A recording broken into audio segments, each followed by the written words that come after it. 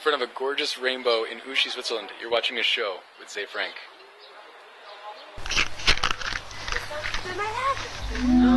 Here is an intern. Look at him. Here is another one.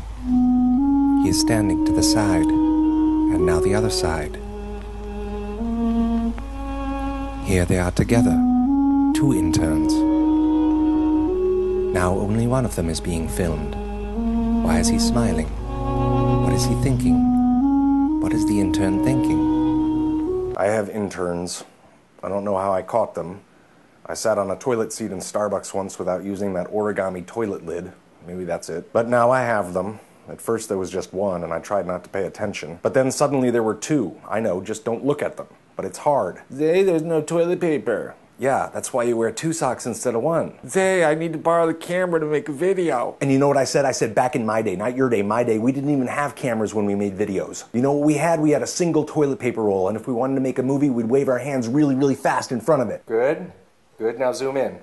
And I teach them those things. I know they don't know any better with their fancy phones and their ability to spell check the word diarrhea. But with the wanting to learn everything and the asking questions. Back in my day, you didn't ask questions. At the age of 13, you were locked in a closet for two years and you had to say every single combination of words that existed. Yeah, sure, a lot of it was nonsense bumblebee, scimitar, guitar, the, and. But in the process of saying every single combination of words, you also said everything that was true about the world. And when we emerged from that closet, kind of pale, we knew everything. And then, of course, we would get our ritual spray tanning and teeth whitening and be led in a procession down to the ocean where we'd stand in the water waist high, getting battered by the waves and pushed to our knees, and the adults standing on the shoreline saying, This is how it's going to feel on October 16th, 2012. So stand up and start feeling the rhythm of the waves and rest when you get a lull. Feel how your weight shifts forward in anticipation and how you will fall forward if you anticipate all the time. But that's neither here nor there, it's then. And now William the intern wants to make a video about meeting people for the first time. I asked him to choose a hard topic, and he chose that one.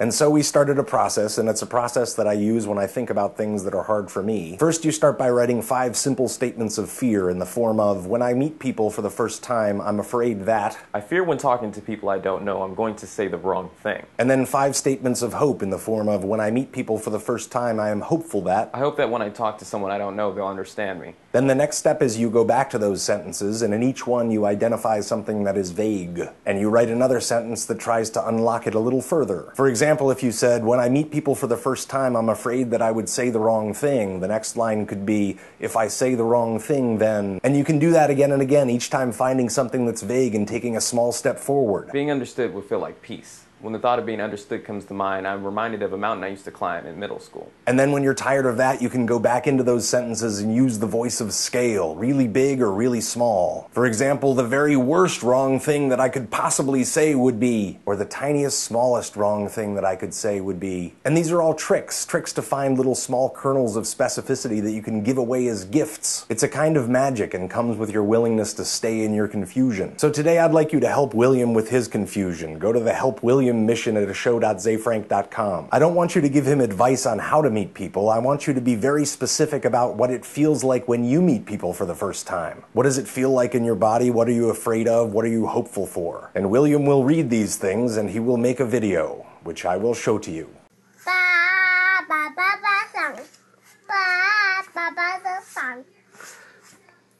Daddy, doobie doo. Ba ba ba da da. 爸爸爸爸是